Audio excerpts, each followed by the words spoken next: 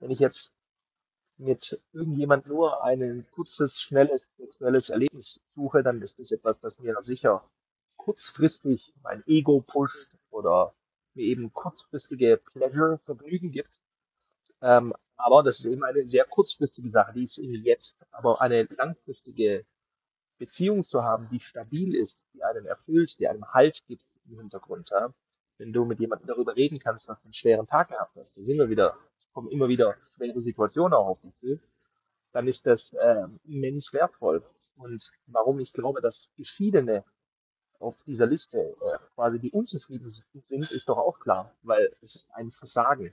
Was ist denn eine Scheidung? Ja? Eine Scheidung ist eine Trennung, nachdem du, wenn du das in der Kirche geschlossen hast, dir ewige Treue geschworen hast.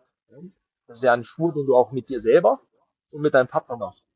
Und wenn du diesen Schwur brichst, was heutzutage definitiv immer äh, häufiger vorkommt, das sieht man ja statistisch auch, Scheidungsraten gehen massiv nach oben, äh,